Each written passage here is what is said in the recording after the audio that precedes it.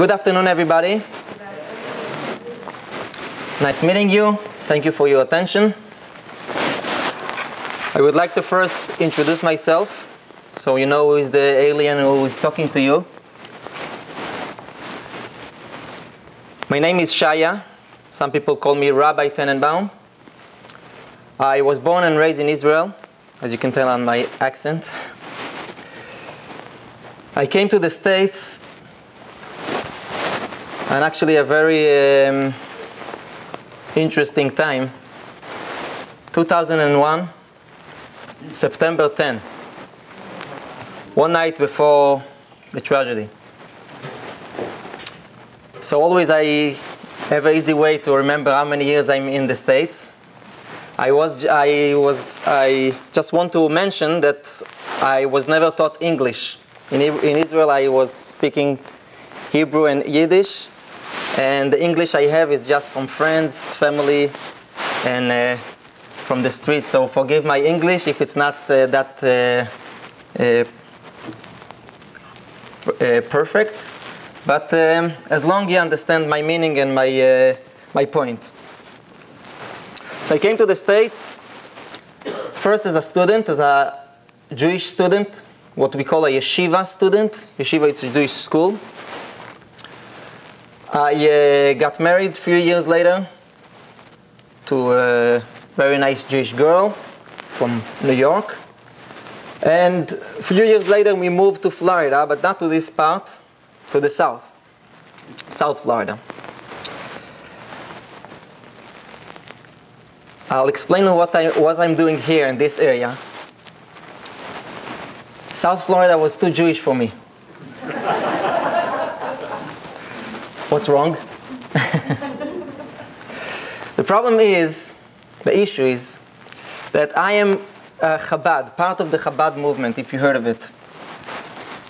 And we were uh, educated and taught and got the, the responsibility and the caring from a very great man, Rabbi Schneerson, the Lubavitcher Rebbe, if you heard of him, passed away in 1994. And he basically gave us the teaching, the caring, and you can say even the responsibility of going all around the world. And today you can find Chabad all over the world. I personally actually have the, the, had the problem that I wanted to go on a certain Chabad mission, outreach, outreach mission, and was no place. Everything, everything was taken.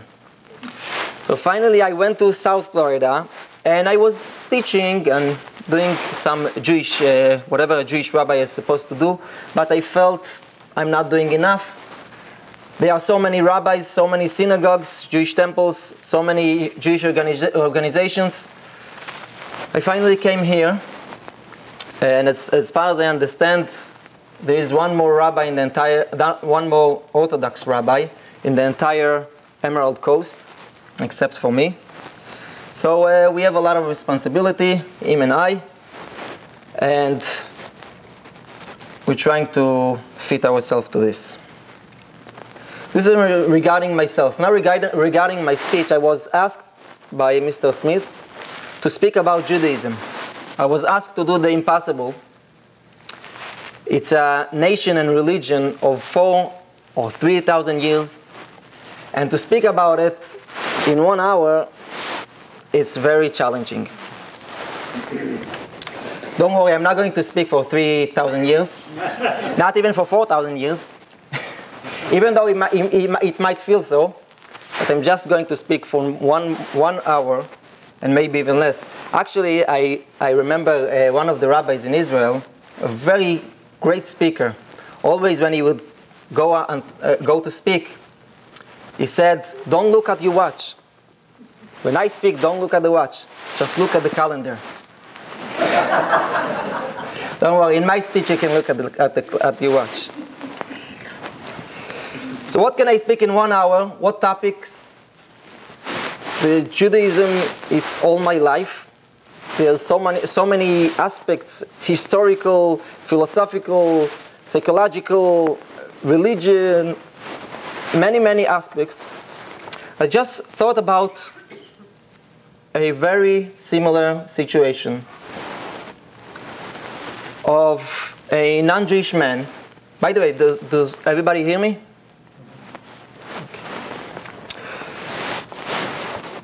Non Jewish man who came about 2,000 years ago to the great, to the top two, to top two great, greatest rabbis of that time. One was Hillel, and one was Shammai, Rabbi Hillel and Rabbi Shammai. He came first to Shammai, who was known as, as a very strict rabbi, one who goes by the book, by the law, doesn't, doesn't play around, doesn't find the easy way, just he, for his bad luck, he went first to him. And he said, Rabbi, teach me the entire Torah while I'm standing on one foot. As I said, Shammai was not as a easygoing person, rabbi. He didn't like this request. He was uh, he happened to be holding in his in his hand a, um, a kind of measuring stick, something like you, you measure with. And he basically showed him the way out quickly by saying, Are you crazy? We studied the Torah for 120 years and we never finish. Torah, by the way, it's the, the Jewish uh, expression for Bible. We studied the, we studied the entire Torah for, for all our life, and we never finish. There's actually a joke about a rabbi who came to a, to a big, big Jewish community, and uh, and this was a large community, very rich community, and they would get the best rabbi in the world. They sent messengers to all over the world, and they picked the best rabbi. So one of the one of the board of the community uh, came to see the rabbi one of the weekdays. He knocked at the door. The rabbi, uh, the rabbi's wife opens, and she says the rabbi is busy, he's studying Torah. He says, "What? Didn't we get the best rabbi? He's still learning." yes, we're still learning. Every single day we study and we study. I hope so. Yes, Well, they can hear you. Okay. Thank you.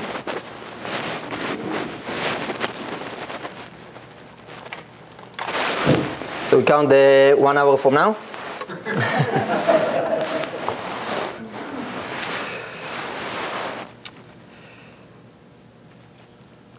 so Shammai got very upset. And he's right. He's right. Well, you want to study the entire Torah, you want to study entire Judaism in while you're standing on one foot? It's impossible. I can do it. How can you do it? And he told them, find the way, find the way out. So he went to Hillel. Hillel was known as a very, very kind, lovable rabbi. There are stories, it's not the time, I'm limited, stories how wonderful person he was. This was his teaching, and as we're gonna uh, see, and this was his, his way of life. Not like those who teach something and they live different way, but this is this was his way of life, to love every single person. And this non-Jew came to him and said, "I want to study the entire Judaism as while I'm standing on one foot." So Hillel told him, "Oh, really? No problem. Pick up one foot. Whatever you hate, don't do to your friend. That's the entire Torah. That's entire Judaism. And the rest, it's the commentary. It's the explanation of it. You can put down your foot. Put your foot down. What does that mean? Wasn't Shammai right? They, they are in the Torah, in the, the Jewish law, 613 mitzvahs. Mitzvah is a commandment, godly commandments.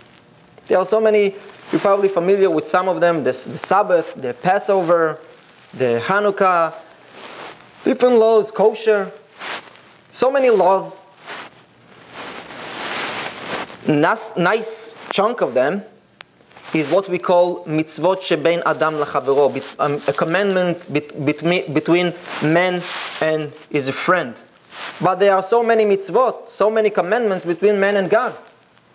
And how does it make sense to say, when you love your friend, you love your fellow, or as he actually expressed, as I'm going to explain later, he expre- expressed in a negative way, whatever you hate, don't do to your friend.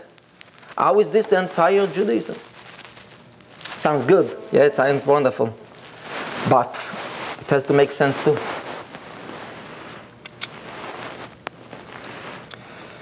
Hillel, this rabbi, had another a, uh, opportunity to speak,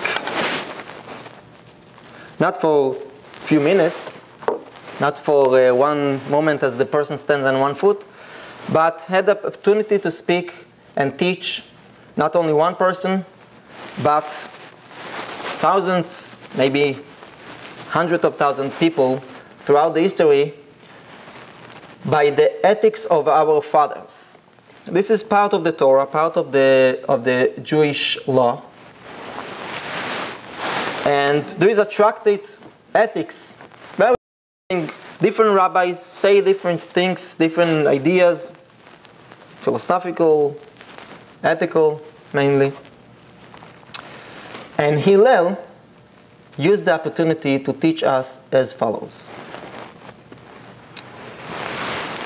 Hillel Omer, Hillel says, Hevei mitalmidav shel Aharon, be from the disciples of Aaron, Ohev shalom verodef shalom, love peace and chasing after peace.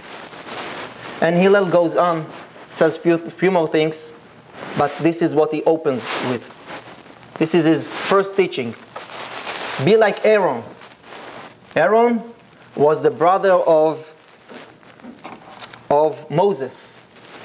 Moses was the first Jewish leader who took out the Jewish people from, from Egypt, who received the Torah from God, who led the Jewish, led the Jewish people 40 years in the desert. You know why he, why he was walking with them in the desert and not in the. Why, why, was, why, why did they spend 40 years in the desert? He was embarrassed to, to walk with them in the street. I'm just kidding. So he led them, he was the, the first and the greatest Jewish leader. His brother, Aaron, was actually older, was a special, unique man.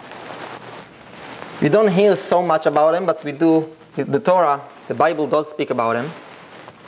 And, you know, sometimes you see the greatness of a person, unfortunately, only when they passed away.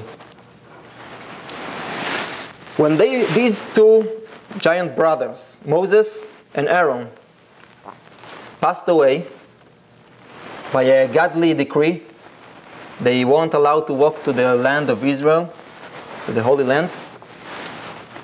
So, right in the end of the 40 years, right before the nation goes on to continue to enter the, the land, first Aaron passed away, and then Moses passed away. And the Torah, if you see, if you look in the scripture, you see that the Jewish people mourner, uh, mourned, cried for their passing, but the scripture expresses in two different ways. One, it says Moses, when Moses passed away, all the sons of Israel, all the men cried. The rabbi, the rabbi passed away. The teacher, the great teacher passed away. They were missing, they were hurt. When Aaron passed away, everybody cried. Not only the men, not only the adults, everybody cried. Why? Moses, Moses is the greatest. Moses did so much for them.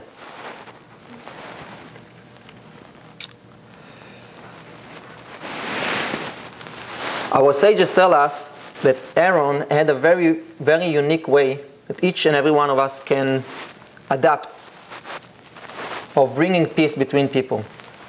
When he would see two people fighting, you know how it starts like a fire and turns to ice. The beginning, I hate you, I'll do this for you, we're so angry. And then after we come down, it's so, it's even in a way worse because it's so cold. No one wants to look at the face of each other and they just have nothing to do with, it, with, it, with each other. Which sounds not so bad, but it is very, very hurting and very, un, it's not uh, desirable.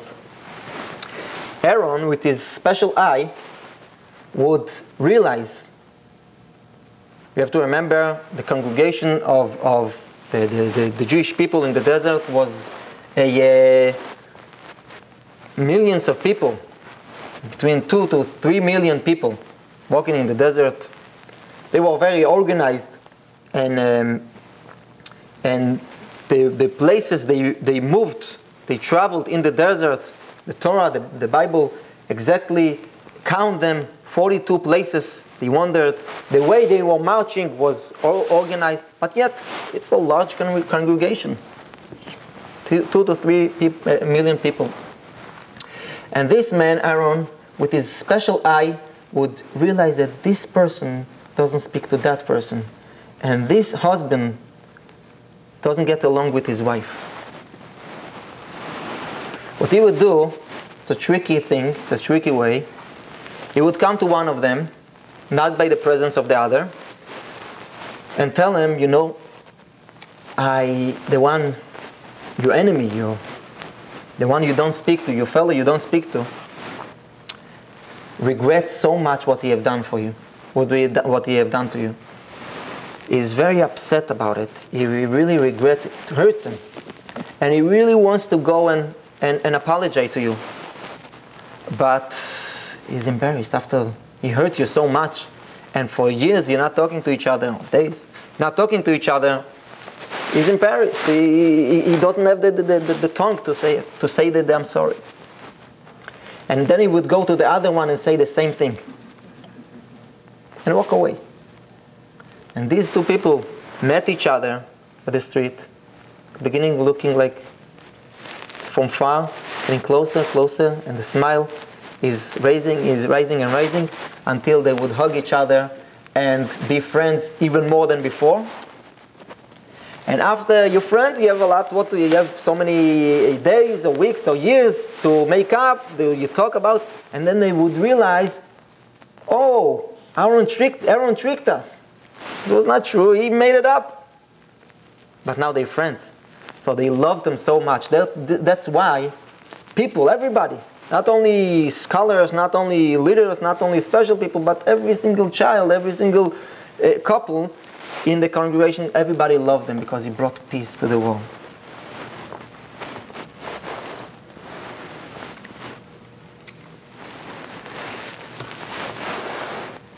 There is something called tzedakah. In English, we call it charity. I know it's a little challenging for American to say the word tzedakah. this is the word in, in Hebrew. In the original Hebrew, that's the, that's the way we say charity. What charity, for my knowledge in English, means something like kindness. Like doing something good, doing something beyond the letter of the law. Something you're not required to. Tzedakah, however, charity in Hebrew, shares same root as the word tzedek, righteous, um, right, rights, not beyond the letter of the law, but just the right thing to do. Why is this that right? Why if I'm not giving it tzedakah, if I'm not giving charity to a poor man, I'm considered according to the Jewish law a sinner? Well, it's nice to give, it's important to give. How can you not give? Don't you see the pain, the pain of the person? But to say that it's, it's a sin, to the Torah re- requires you to give tzedakah, to, to give charity. It's one step further. I want to mention something that I, uh, I would say about Aaron. I forgot to, to mention one, one, one important thing. It's not only the part, the, the part that he was helping people, but even first to realize their problem, to realize that they are in a war, in a, in a, in a, in, they don't get along. This is already a, a unique a, a character. I heard once from a, from a rabbi, from a speaker in Israel. He said, could be two people walk by a, uh, a beggar, a homeless, a person, a needy, and don't help them, don't help him. Two people, it's not good. It's not as it should be. You should help. But they don't help for two different reasons. The First one was very busy. He was involved with his work, with his phone calls, with his uh, uh, uh, bills, and he was walking by and he didn't realize that there is a beggar sitting on the floor and begging for a little money. Or he didn't realize that his neighbor is in a, in a, in a, in a situation he needs help. He is so much, he's so busy. He would help with all his heart, but he just didn't, didn't realize. The other one did realize, but didn't want to help. He didn't care enough. He, he thought that he can't, whatever the excuses, they will always, they will always be excuses why not to help. He said, if you think of it, maybe many people will tell you the second is not a nice person. You see the person suffers, you see you can help him, why don't you help him? But he said the first one needs much more to work on his own character, to work on, his, on himself. How come there is somebody suffering next to you and you didn't even realize? If you don't help, you have to correct yourself. You have to work on yourself to become a better person. But at least you realize. So this was one thing of Aaron, who, who not only helped the people, but realized among so many people realized who two individuals don't speak to each other. Back to, to, the, to the subject of tzedakah, of charity in English. As I said in Hebrew, it means right. Right. Doesn't mean extra, doesn't mean something special, means just right. And one can wonder I worked so hard for my money. This person is a lazy person, whatever the excuses are, but why is my money belongs to him? It's my money. I can get, I can do with my money whatever I want. I can buy whatever I want for myself, can help him. But is this money, let's say 10%, this is by the way the requirement according to Judaism, to give at least 10% of your income to charity. So 10% of my of my money doesn't belong to me, belongs to somebody else. Why? Was one atheist who came to Rabbi Akiva, was another great sage, who said, um, Rabbi Akiva, do you, does your God love poor people? He said, yes. So why, do, why does he make them, why make them uh, poor? If he likes them, if he loves them, why makes them poor? And if he makes them poor, why ask you, the people, to help the poor people?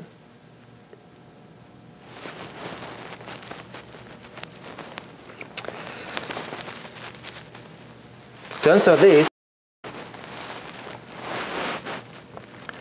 I will uh, quote from one of the parshas of the Torah, one of the sections of the Torah, where the, the people are required to give to to. I always have a hard time to to express this word, a co- contribution, which is a donation. It's the same thing, right? Right. So to give a donation to the to the tabernacle. It says over there, God spoke to Moses, go to the people, speak to the people, and they shall take for me a contribution, a donation. Why sh- should they take? They should give. They should give.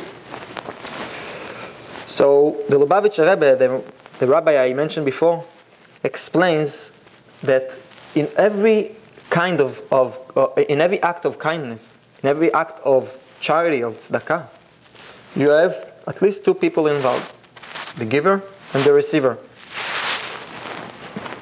The giver is definitely doing it, or most likely doing it with right good intentions. He's taking away from his own money, which he can enjoy, and gives it away. However, the receiver, the poor person, takes it because uh, he's hungry.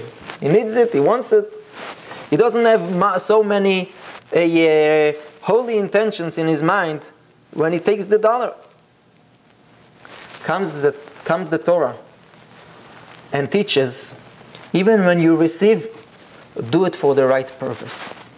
You have to know that God created the world. You have to know God created the world in a way that there are rich people and poor people. And everything is planned and everything has a purpose. The rich person became rich in order to help those who don't have. And those poor people who don't have became poor in order to help the rich person, the rich people,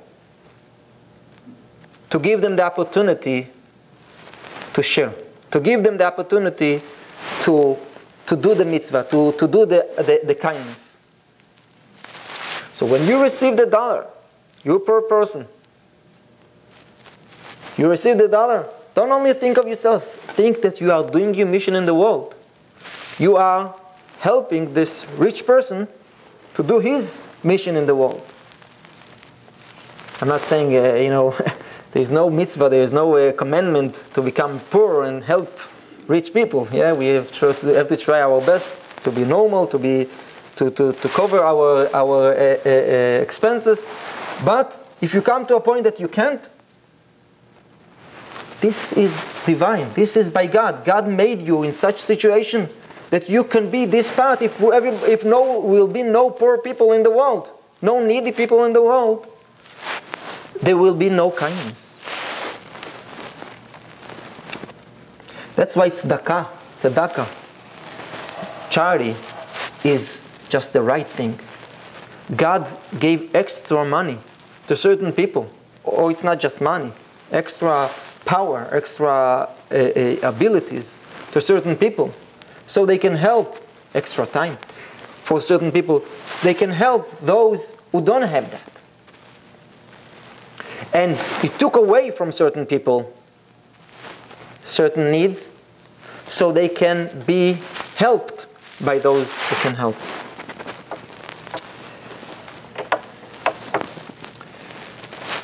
When we understand this, the, the, the rich person, the helper, the, the giver, has to feel that he is just doing his job in the world, he's doing his mission in the world, you should feel good about it, but it doesn't have to feel bad. It doesn't have to feel, oh, I did, I saved the, the, the universe. I did so greatly. I did so much.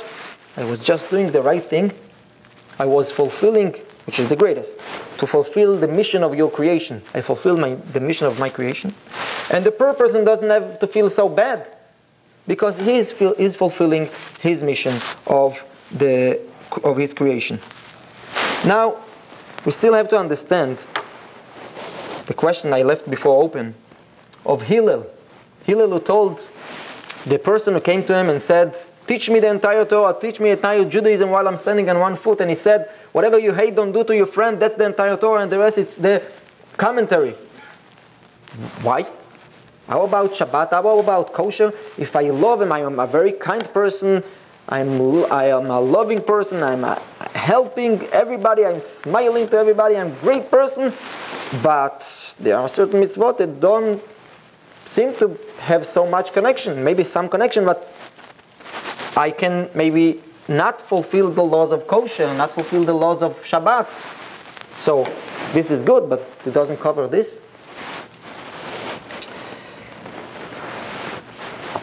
Does a fisherman like fish? Does a child like candy? So why do they destroy them? If you, if you love the candy, it's candy. I want it, I want it, I love it. It's so tasty. Why you destroy it? If you love the fish, why you killing it? We all like this, unfortunately. I love my neighbor. Actually, I happen to have here in Destin a great neighbor. Very nice man. And um, he's, a, he's a nice man. He's a helping, he's a smiling, he's always ready to help. And I love him. Do I love him? Or I love the benefits I get from him? The Mishnah, the Jewish law, says there are two types of love. Love depends on something, a, a, love with a reason, and a love with no reason, with no, depends on nothing. Just pure love.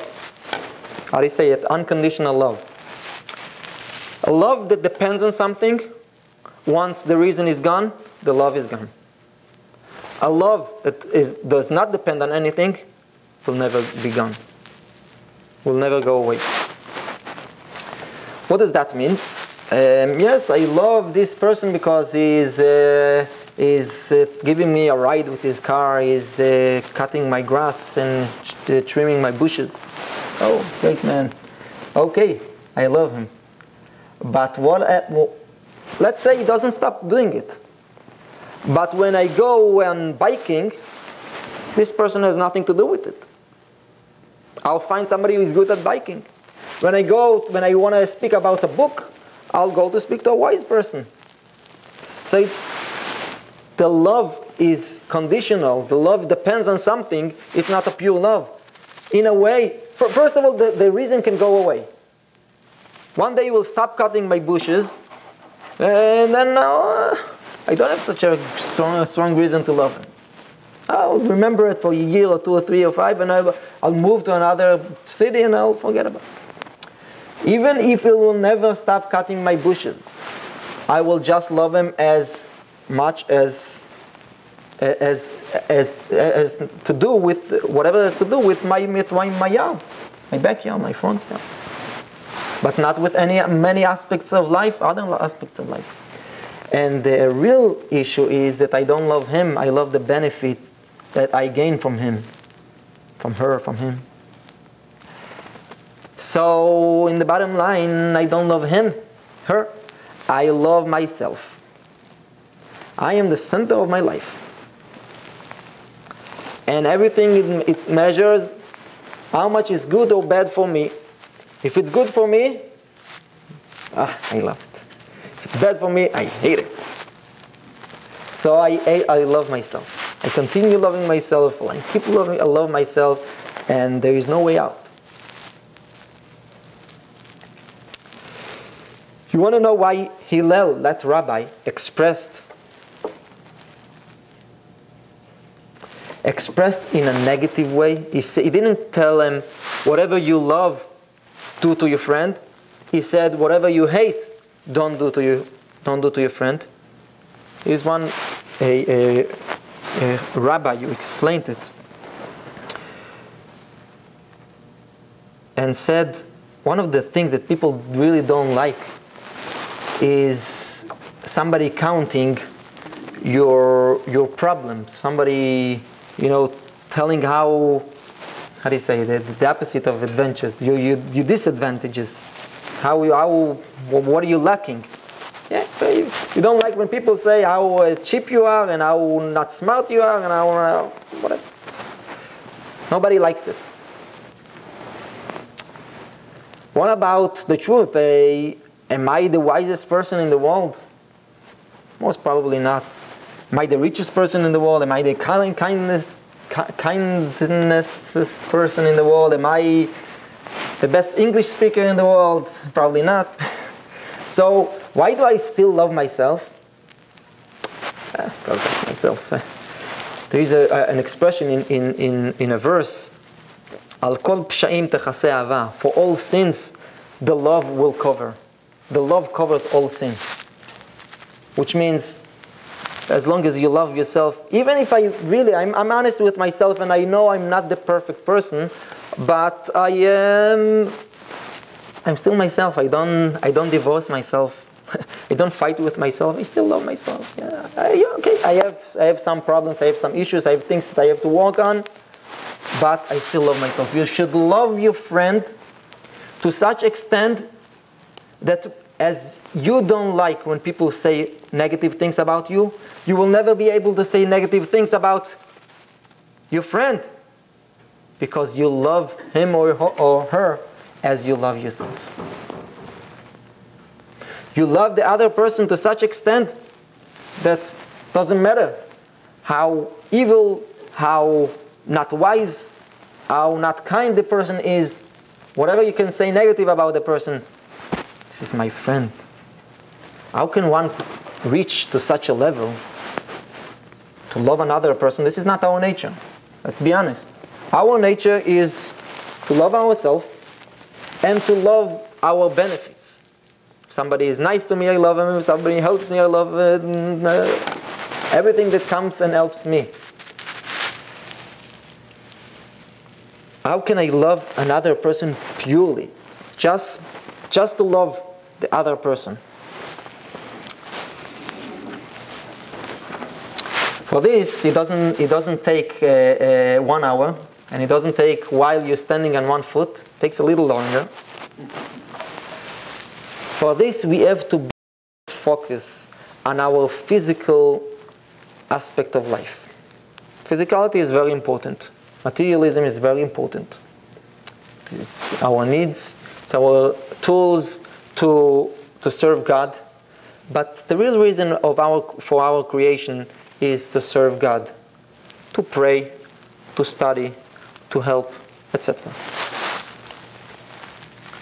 Once a person is less focused on his, on, on his or her a physicality, which, yeah, you have to take care of, of, of your needs, of your bills, of your house, of your food and everything.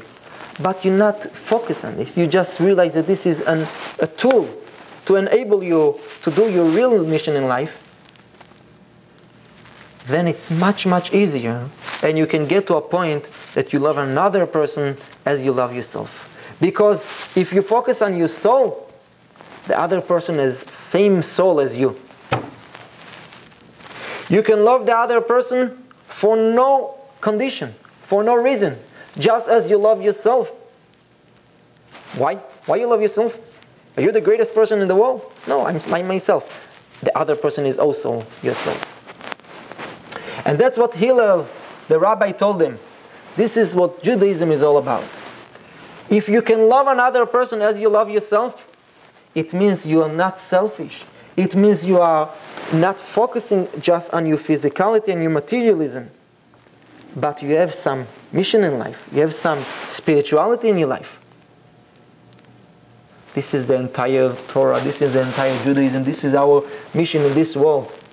The, the test for it the proof that you reach the level that your spirituality is your main aspect of your life is when you are able to love another person as you love yourself.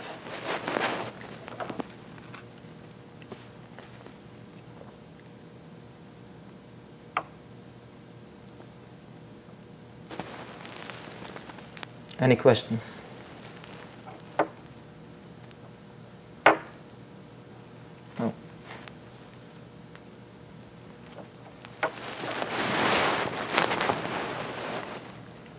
May I ask you a question? How are you?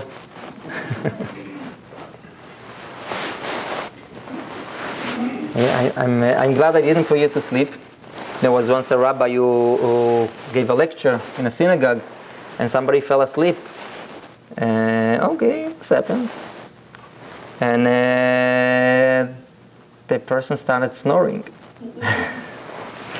So the rabbi shows the person sitting next to him, to, to the snoring person, wake him up. Said the one who put him to sleep, he will wake him up. All right, is anybody here actually a, a Jewish or a, um, a, has a Jewish background? I mean, this is uh, pretty kind for you to give uh, almost a full hour. You know, if you're a Christian, you have a Jewish background. Oh, that's true. That's very true. Here you go. You Are you restoring the Torah? Pardon me? Are you restoring the Torah? No. You heard of, you you read about it in the I think that's very yeah, yes. Um, no, I happened. I as I said, I moved here to be a rabbi in uh, Destin, and I'm. Uh, pardon me? Torah is so often that they're working on. Yes, yes, yes. Where in Israel did you live? In a place called Kfar Chabad. It's a, it's a small town near Tel Aviv. Probably heard of Tel Aviv. Where's your extended family from? Um, originally from Russia and Hungary. So did they escape from Russia? When did they leave Russia? Um, in the 40s. 40s. Yeah, Russia. I remember the uh, signs on front of synagogues in the 1950s and 70s about freeing the Russian Jewry. Right, right. They have somehow, right, they somehow made it. The 1940s, that was pretty early. Yes.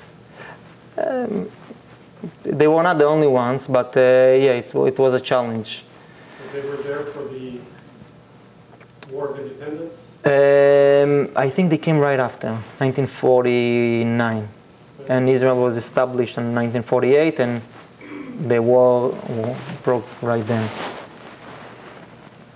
So, uh, I saw at the Wailing Wall a lot of, maybe, and is that a, is that a ritual or? say, say again. Doing what? Doing like this? Shaking? Yes. Uh, it's a it's a habit. It's a habit. Um, I think first of all, uh, when you stand for a long time and you pray, it's, it's just it's hard to still to stand uh, still. But um, there are there are there is an explanation that says that really all our uh, uh, uh, when you pray, what you focus on is on your soul, right? Not on your not on your body so much. And uh, the soul, it says in the it says in the Bible, in the Torah, Ner Hashem Nishmat Adam. God's candle is man's soul, which means our soul is, is it's like a candle. And and the, the, the flame always like moving a little bit, shaking. And the truth is it says that the flame always desires to go back to its source. And if not for the material, it holds it back. Once there is nothing to burn, it goes away. So too the soul always desires the Creator, the one above. That's the spiritual explanation. Um, do, do men and women both go to the synagogue at the same time? Uh, by us, yeah, by Orthodox, yeah, everybody goes, but we pray separately in two parts of the of the room, or two two different rooms which are connected. Um, Why is that? Well, we believe um, this is not the only thing, but uh, um, everybody is respected, men and women. Everybody have their own uniqueness, but we we do believe that um, too much of contact, uh, uh, uh, closeness with between men and women doesn't bring bring to too much holiness.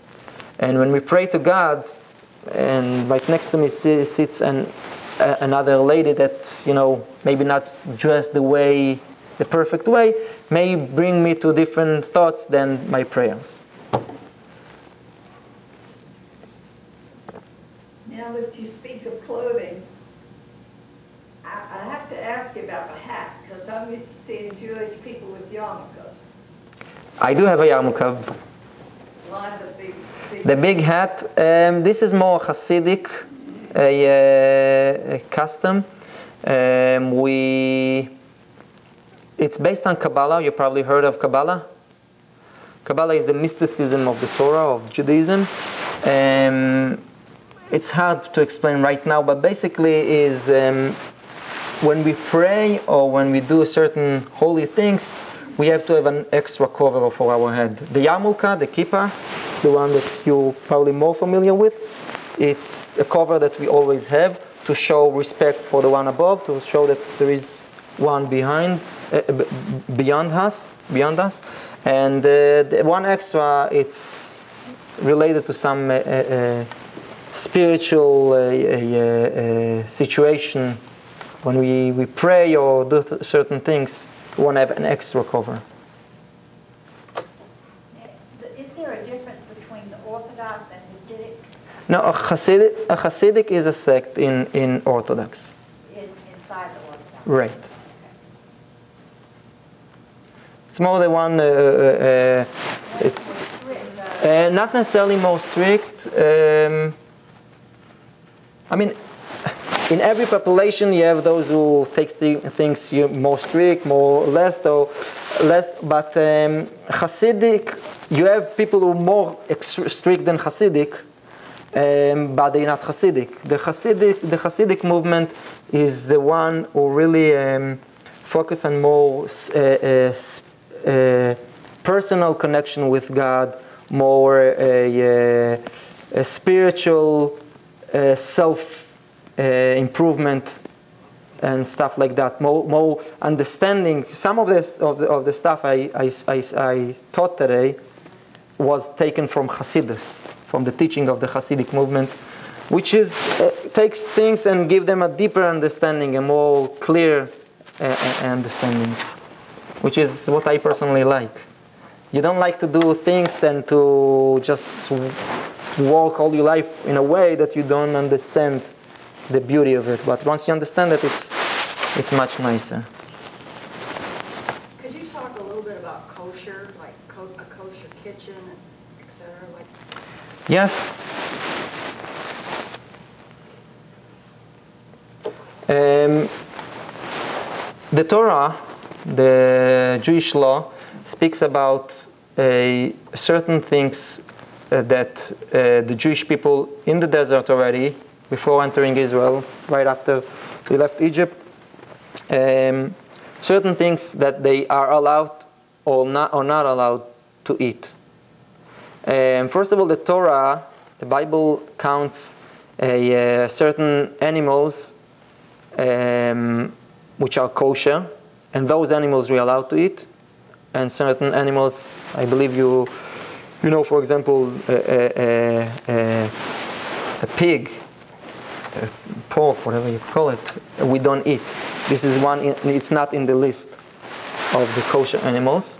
And even in the kosher animals, uh, uh, like like a cow or, or a sheep, uh, it depends the way it was done. It was prepared. Uh, we're not allowed to eat even to, to, to swallow even a drop of, of, of blood. So this is what makes the, the you probably all uh, uh, saw the kosher salt, kosher salt.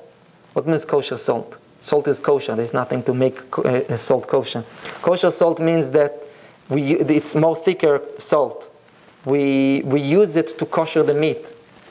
Um, in, a, in a kosher places, kosher butcher, butcher shops, they take the meat after, when, before it's, it's ready to, to cook, to be cooked, and, and they put a lot of salt on it, and they soak it in salt, so the salt takes out all the blood, and then they rinse it, and three times, so it's really um, clean, clean from, from any blood. Uh, so you can eat a clean chicken, but if it was not processed in this way, for example, it's not kosher. So I don't eat it. Um, now the chicken can be kosher or whatever meat can be kosher and can't be mixed with with dairy if anything comes from milk. So this is um, one of the challenges in a kosher kitchen that we have full uh, uh, two pa- two sets of, of, of everything basically. Two different ovens, two different uh, uh, uh, sets of pots and pans, dishes, and everything. If I ate something on, on a, pl- something hot on a, on, a, on, a, on a plate, I, I ate meat for example, I can't eat later something dairy, which even if the plate is clean, still absorbs some of the, of the taste of the meat and can go back to, the, to, my, to my dairy. So we, we, sep- we com- completely separ- separating this. Um, this is a, I know sometimes we have guests and people who help in my house and uh, they have uh, sometimes hard time and you know they mix they, they put they take you your dairy stuff and they put it in this and uh, this is uh, more or less what's all about. Um, first of all, it's a godly a, a commandment. It's a divine commandment. God said, and and uh, for example, this a, a, um, combination of meat and, and dairy, it's considered one of, of the super rational mitzvot, super rational commandments.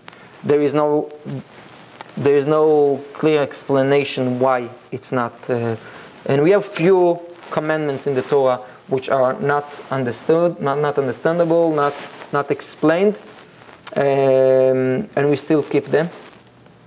And we keep them with same excitement as those we understand.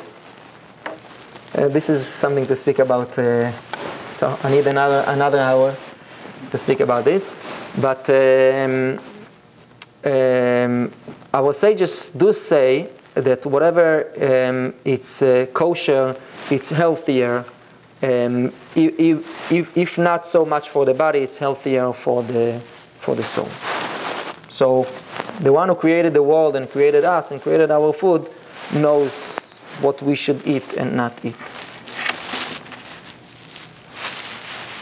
What is the uh, logic behind having to walk to temple for services? That you don't ride in a car, you walk? Oh, I didn't know you were familiar with this. Um, yeah, I do it. I do it every every uh, Friday night and every Saturday morning and afternoon. Yes, I am not uh, driving my car. Um, the logic is that the Sabbath, the Shabbat, the Jewish uh, Shabbat, is um, starts from Friday night and sunset, all all the way to to the following night of Saturday night, and the Torah, the Bible does say you shall not a uh, kindle fire in that day, which is considered there are 30, 39 types of, of work which we are not uh, we are not uh, supposed to do on these 24 25 hours. Um, it's a uh, it's an act of rest. So if you light if you light fire, it's considered like you're creating something, you're doing something, and this is not something that we're not supposed to do on those 24 hours. So therefore, we're not riding, a, we're not driving a car since the car is running on fire. Is there a synagogue in Destin? Yes. And if anyone here wanted to come and participate in study classes or? Yes. Yes. I, I unfortunately I don't have uh, yet my business card. Uh, as I told you, I uh, on uh, Airport Road. Um, if you want, you can give people my uh, my information later, and they can personally contact me. And yes. I want to ask you about Rabbi Schneerson. You follow him or? Yes. Yes, okay. Could you tell us something a series of Schneersons, but, Right. uh, Uh, he was the seventh one. Uh, in you see, you asked about uh, Hasidic. Um, in the Hasidic itself, there is something called Chabad that I mentioned. I am part of this. Um, it's a cer- it's a certain circle among the Hasidic circle, and um, there's so much to talk about. Rabbi Schneerson was known as a great, great scholar, Torah scholar, and uh, also a scientist, and uh, um, he was a wise, wise man.